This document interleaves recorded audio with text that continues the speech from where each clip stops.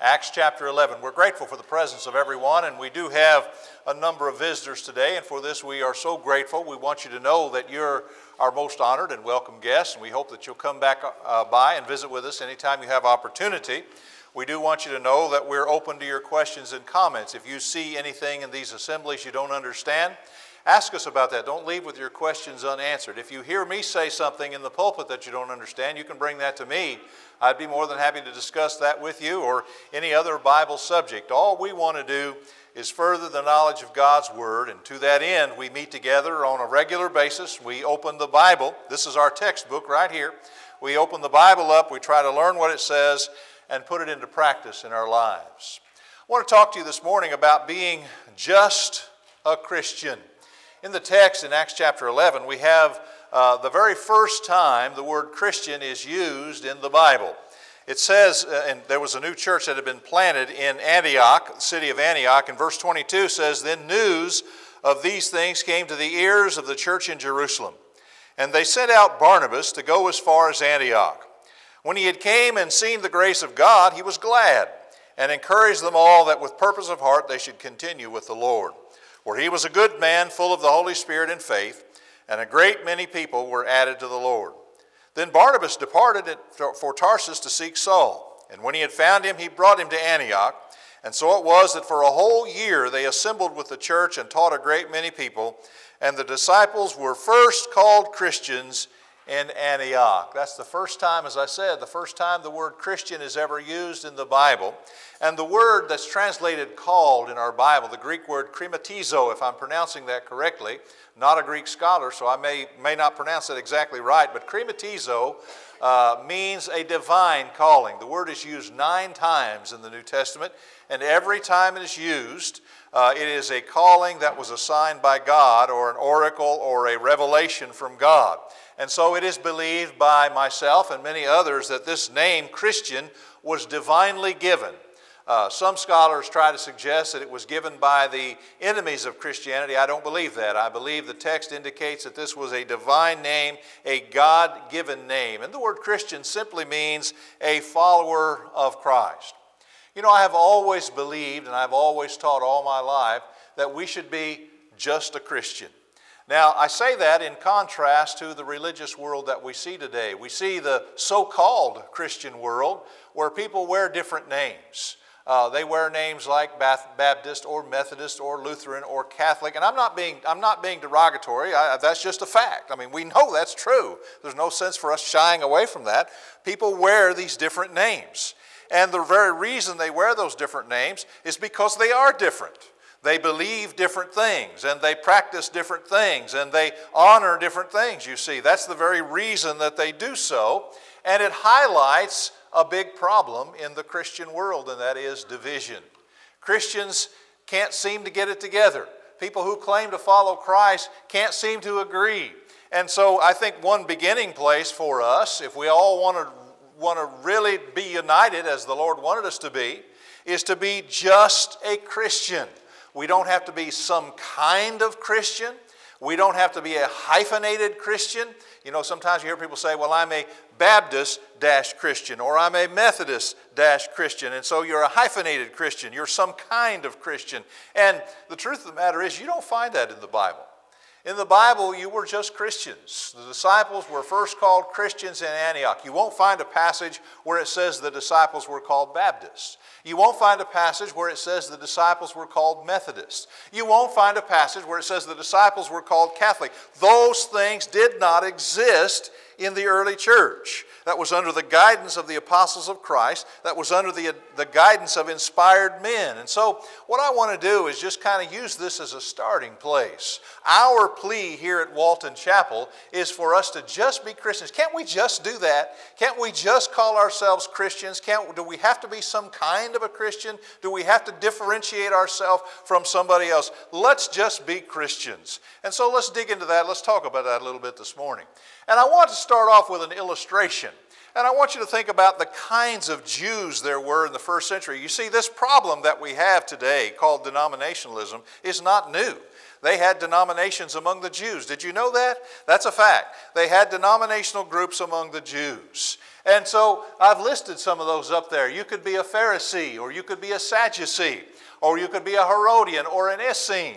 And so those were some of the Jewish sects, S E C T S, or denominations that were in existence. Take your Bibles and turn uh, to the book of Acts, chapter 23.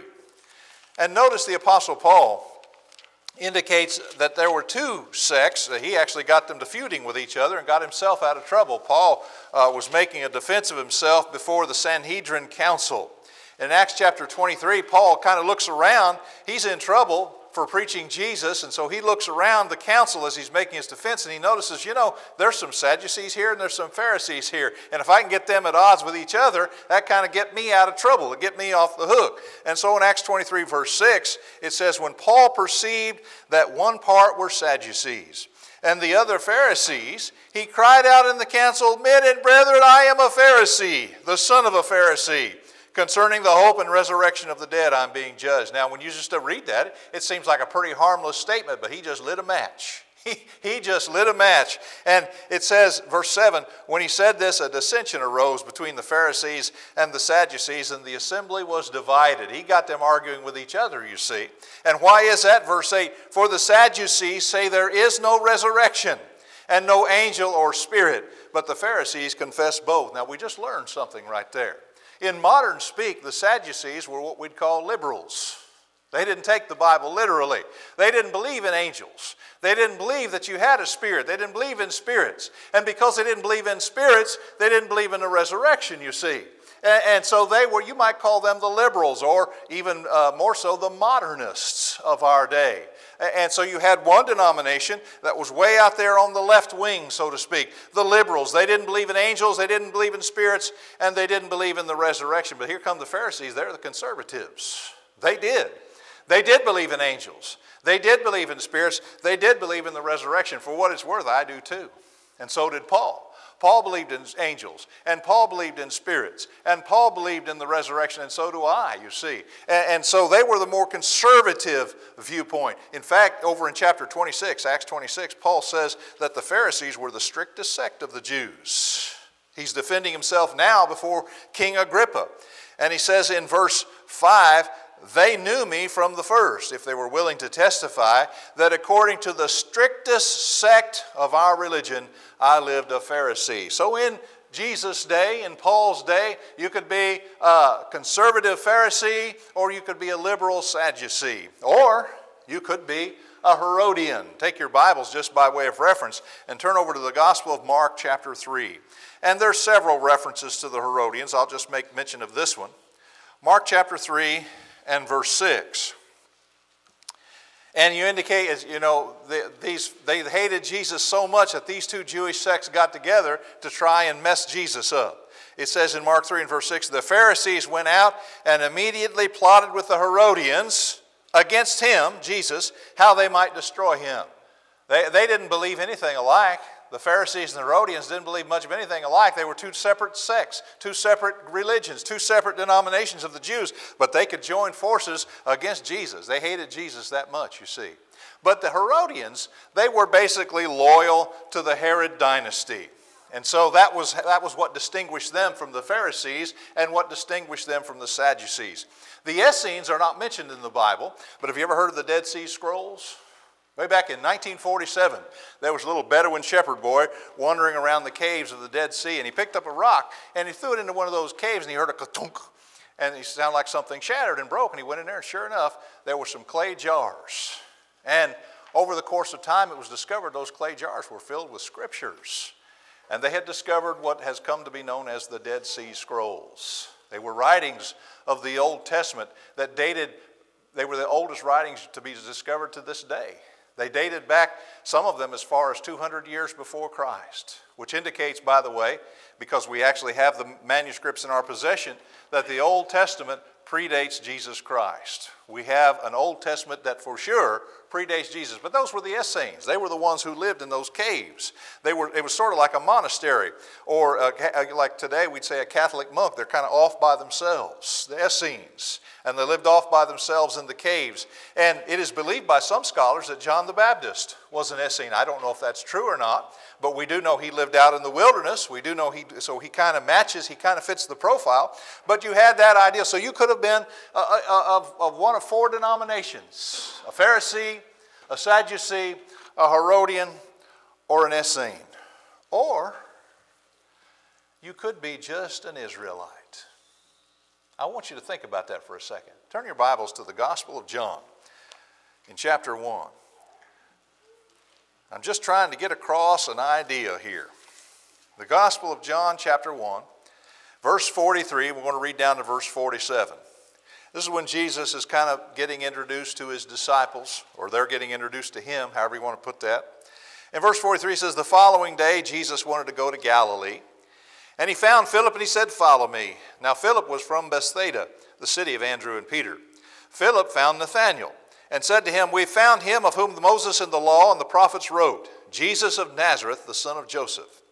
Nathanael said, Can anything good come out of Nazareth? He's a little skeptical. I never heard of anything like that.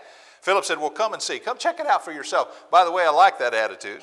Don't just take somebody's word for it. Come and see. Come check it out. Investigate for yourselves. That's what we like you to do here. Investigate for yourselves and see if what we're telling you is the truth. So he says, Come and see. And Jesus saw Nathanael coming toward him. Now, watch this. He said, Behold, an Israelite indeed, in whom is no deceit. You see that word indeed? You know what that means? It means really or truly. A true Israelite, a real Israelite, a genuine Israelite. That's what that means. In other words, this guy is a real, genuine Jew. He's not a Pharisee, he's not a Sadducee. He's not an Essene. He's not a, he's just a Jew. And he, he got the praise from Jesus. By the way, Jesus didn't praise those other groups. He had some pretty bad things to say about the Pharisees. He had some bad things to say about the Sadducees. He had some bad things to say about the Herodians. But here was one he praised. Just an Israel. You're just an Israelite. There's no guile in you, there's no deceit in you. You're just plain and pure, just a Jew. Now, I say all that just to illustrate a point. Let's fast forward now to our day. And let's look at the kinds of Christians today. And I just put some examples up here. We could, as we know, there are hundreds and hundreds of denominations. We could have a list a mile long, but I just put some examples up there. Uh, there are various kinds of Christians today. You know, today you can choose to be a Catholic if you want to be. But to be a Catholic, you have to subscribe to the teachings of the Pope in Rome. You see, he's the head of that church, and he's regarded by them as infallible. When he speaks, ex cathedra, as they call it, from the chair, from the throne, he speaks infallible doctrine. In order to be a Catholic, you must accept the decrees of the Pope, even if they don't sound like this. What he says goes, you see. And so you could be that. You could be one of those and distinguish yourself from other believers. Or you could be a Methodist. The word Methodist uh, has to do with the way they conducted their religion. They had certain methods and patterns that they followed. And the Methodist group was started by John Wesley. And so, if you were going to be a Methodist, you would have to subscribe to the teachings of John Wesley. Now, the teachings of John Wesley are different than the teachings of the Pope. I guarantee you that. They do not teach the same thing. What the Pope says is one thing, and what John Wesley says is another thing. They do not teach the same things, they do not believe the same things. That's the very reason some are called Catholic and some are called Methodist, because they do not teach and believe and practice the same things. You could be a Lutheran. A Lutheran is simply someone who follows the teaching of Martin Luther. One of the interesting ironies of history is that Martin Luther did not intend to start a group that followed him. You, there are quotes from Martin Luther. He said, Listen, please, and just what I'm about to say right here, please just call yourselves Christians. Don't call yourself Lutherans. He, Martin Luther himself said that. Don't call yourself, just call yourself Christians, which is the very argument I'm making this morning. Just call yourself Christians. Don't try to be some kind of a Christian. Don't try to be some hyphenated Christian. Just be a Christian. Martin Luther tried to get his followers to see that, but they wouldn't see it and they would subscribe to his teachings. But his teachings are different than John Wesley's, and John Wesley's teachings are different than the Pope's. And on and on and on we could go right down the line. And you could add one group after another. As I said, there's probably over 200, maybe even over 1,200, some estimates. There are different groups and, and different factions of those groups, maybe as many as 1,200 different denominations out there. And so we could fill this board up with different groups. But I think you get the idea. But you know what? There's also something called a disciple indeed. Now remember the Israelite indeed? Remember him? Jesus said of he said, Here is an Israelite indeed in whom is no God. Just a Jew, not a Pharisee, not a Sadducee, not an Essene, not a Herodian, just a plain old Jew. And he follows me and, and, he listens to my word and he, and he obeys me, and that's all that he is. That's all that he claims to be. He has no guile in him. Well, you know, that's also true of those who claim to follow Christ. Turn to John chapter 8. In John chapter 8,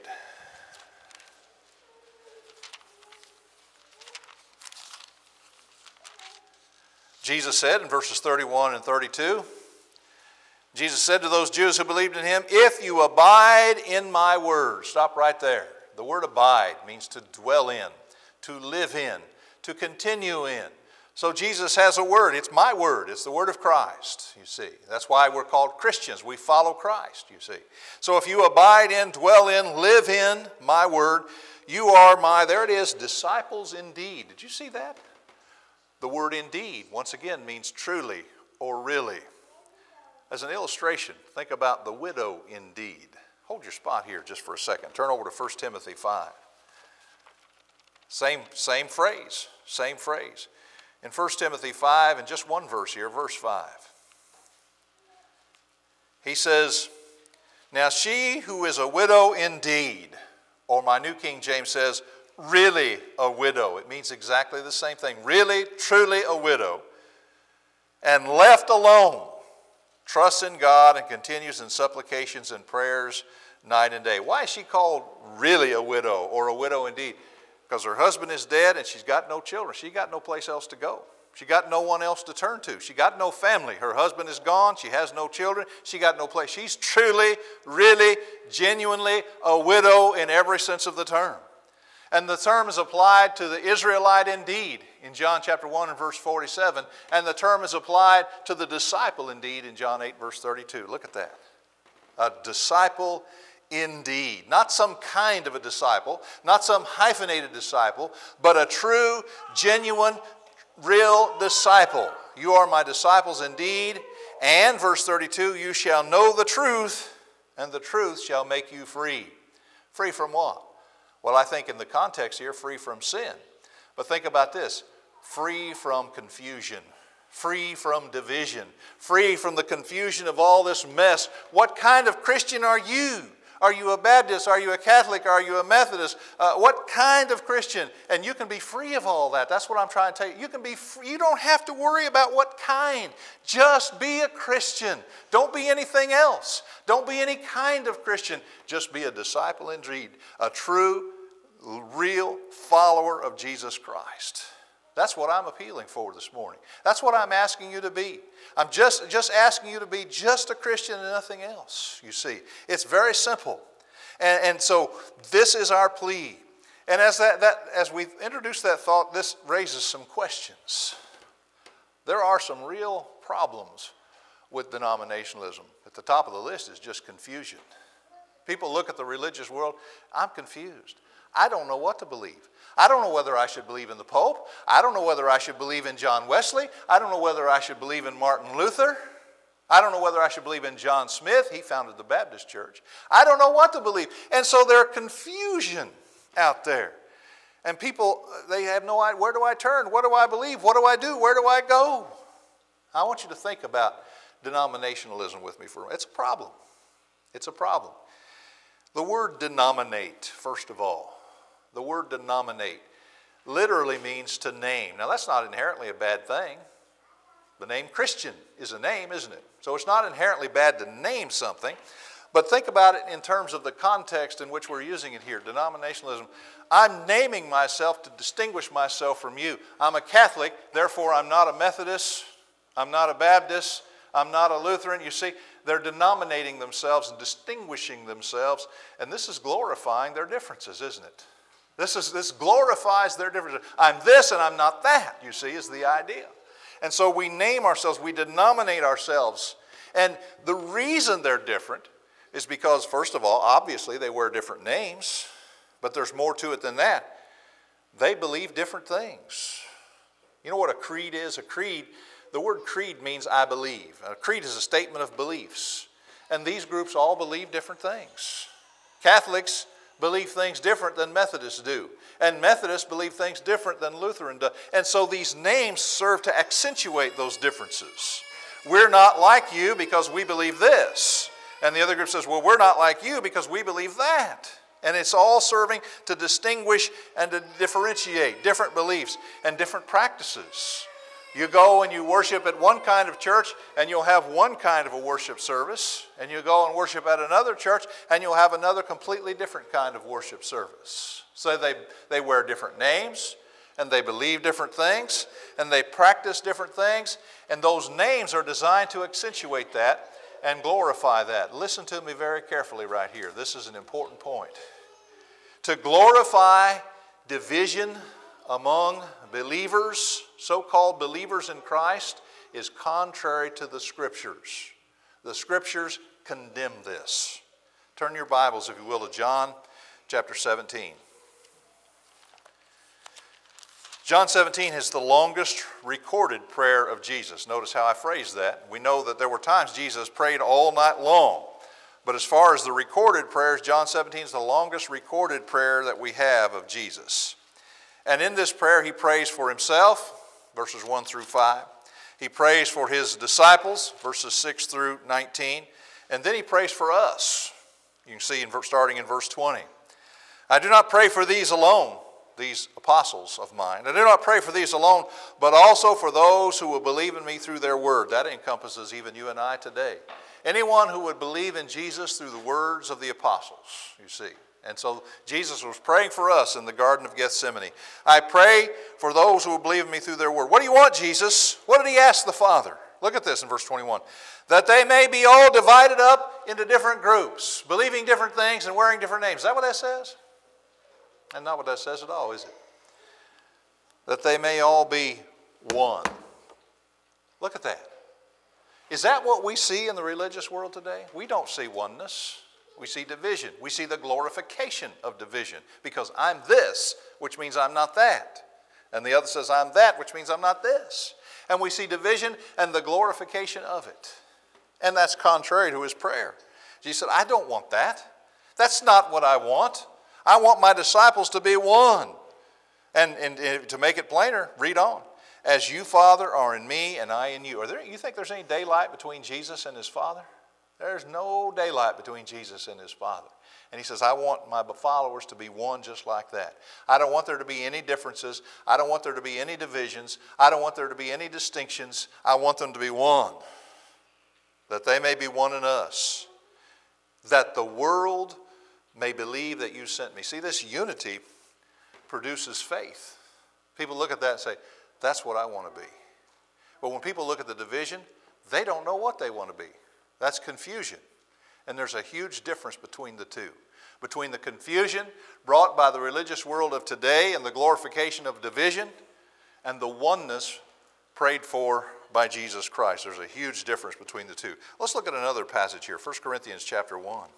Here was a, a single congregation that was divided up, and that's not good either. In 1 Corinthians 1, these people were divided over their favorite preacher. They had a case of preacheritis.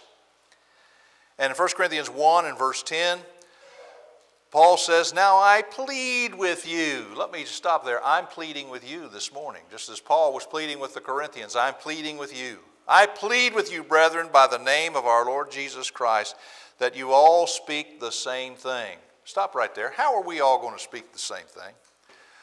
Can I suggest to you that if I speak what this says and you speak what this says, we're going to be speaking the same thing? It's just that simple. It's just that simple. If I speak what this says and you speak what this says, we're going to be speaking the same thing. And so I plead with you, I'm begging you that you speak the same thing and that there be, look at it now, no divisions among you. How simple can you make it? That's about as simple as you can make. No divisions. That's not what we see. That's not what we see in the religious world today. But I want there to be no divisions among you but that you be perfectly joined together in the same mind and the same judgment. What do you mean, Paul? Well, it's been declared to me, verse 11, concerning you, my brethren, by those of Chloe's household, that there are contentions among you. Now I say this, that each of you says, I'm of Paul, I'm of Apollos, I'm of Cephas, I'm of Christ. Does that sound familiar? I'm a Catholic, I'm a Methodist, I'm a Lutheran. Well, I'm of Christ. That sound familiar? That's exactly what he's talking about here division. And, and, and, naming and denominating and distinguishing themselves. There's no unity here. And Paul says that's a problem. Verse 13 Is Christ divided? These are rhetorical questions. No. Was Paul crucified for you? No. Were you baptized in the name of Paul? No. So, what are we doing? What what's going on in the religious world today? I don't know what it is, but whatever it is, it's wrong. Because that's not what the scriptures teach. And that's not what God wants.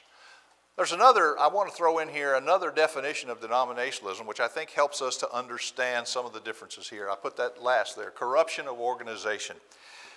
If you look up in Webster's dictionary, you look up the word denominationalism, or denomination, I should say. Look up the word denomination, and Webster says, listen carefully, an organized group of religious congregations. Now just stop and think about it. Sounds harmless, doesn't it? Sounds harmless. An organized group of religious congregations. Except for one thing. Do you know that there is no such animal in here? There is no such thing as an organized group of congregations in this book. Each congregation is independent and autonomous and stands on its own. Each congregation is an independent entity. And when you begin to link congregations together, and all these are the Baptist church, and all these are the Catholic church, and all you're, you're a denomination. By the way, some of my brethren do that too. They link congregations together. They call it a sponsoring church, but it's the same principle. An organized group of congregations is not to be found in the Bible because every church is organized alike. Acts 14 and verse 23 elders in every church. And those elders, they take care of that church alone. See, we've got two elders here. And they don't, they don't worry about telling some other church what to do. They're over this congregation. 1 Peter 5 and verse 2 Tend the flock of God which is among you, you see. Well, when you start linking churches together, you're corrupting the organizational structure of the church. That, by definition, is a denomination. Some of my brethren need to wake up and see that because, by definition, that's a denomination. Well, let me bring this around here. How can we be just a Christian today? That's what I'm pleading for. How can we be just a Christian today? And can I just suggest to you, it's, the, the solution is very simple. Number one, give up all the human names. Stop calling yourselves Baptists, Catholics, Methodists. Stop. Stop. There is no such thing in the Bible. Those groups don't exist in the Bible. Those groups don't have any sanction in the Bible. Stop glorifying the names of men or the doctrines of men. Stop wearing the divisive names. If you want to be one as Jesus prayed, if you want to be one as Paul pled, then stop trying to distinguish yourself from others. Just be a Christian. Lay aside the names. Let's go back to 1 Corinthians 1. We were looking at this earlier. Remember what he said? He said, I want you to be joined together in the same mind and in the same judgment. If I can ever get my Bible, all my pages are wanting to stick together on me. 1 Corinthians 1, we saw it in verse 10. No divisions among you, perfectly joined together in the same mind, the same judgment. Verse 13, we left off. Is Christ divided? Nope. Was Paul crucified for you? Nope. Were you baptized in the name of Paul? Nope. Was the Pope crucified for you? Was he? Was John Wesley crucified for you? Was Martin Luther crucified for you? Were you baptized in the name of the Pope? Were you baptized in the name of John Wesley? Were you baptized in the name of Martin Luther? Well, I sure hope not, because that ain't worth a dime. So he says, let's not be that way. In fact, he goes on from verse 13, verse 14. I thank God that I baptized none of you except Crispus and Gaius, lest anyone should say that I baptized my own name. I don't want anybody calling themselves after Paul. I don't want anybody, to bring it up to our day, I don't want anybody calling themselves a Catholic or a Methodist or a Lutheran. More importantly, the Lord doesn't want it. Never mind what I want, the Lord doesn't want it. Just give up the human names. Number two, give up the human creeds. I wished I'd have brought them with me. I've got some books in my library just for informational purposes. But I've got a Methodist discipline, I've got a Baptist manual. I've got a Roman Catholic catechism. Those are all books that are put out by those groups. You know why they have to have those books? Because you wouldn't know a thing about how to be a Catholic without a Catholic catechism. You won't learn that in here. you won't learn how to be a Catholic in here. You won't learn how to be a Baptist in here. You won't learn how to be a Methodist in here. You won't learn, you won't, you've got to have those other books. And so I'm saying to you, lay them aside. Those are called creeds. Lay them aside. Throw them in the garbage. That's all they're worth. They're just garbage. They're not the Word of God. Throw them away. You want to be one? You want to just be a Christian? Throw those books away. Get rid of them. You don't need them. They don't have any information in there that will get you to heaven. Nothing there that you need. Just follow the Bible. Number three, give up humanly devised practices.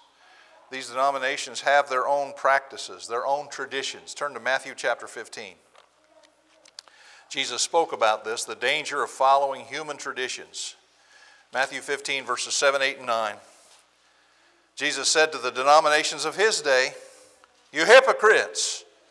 Well did Isaiah prophesy about you, saying, These people draw near to me with their mouth and they honor me with their lips. Oh, how I love Jesus! Oh, how I love Jesus! But their heart is far from me. How you know Jesus? How you know their heart is far from you? He said, In vain they worship me, teaching as doctrines the commandments of men. Instead of teaching the scriptures, they're going to teach that Catholic catechism. Instead of teaching the scriptures, they're going to teach that Methodist discipline. Instead of teaching the scriptures, they're going to teach that Lutheran creed. And Jesus says, Stop. Stop. In vain do they worship me. In other words, that kind of worship is worthless. That's what vain means worthless, pointless, going nowhere. In vain do they worship me, teaching as doctrines the commandment of men. And then the most amazing thing of all, you want to you want, you want to be just a Christian? The answer is very simple. Just follow Jesus. That's so simple. Turn your Bibles to Colossians chapter 3, verse 17.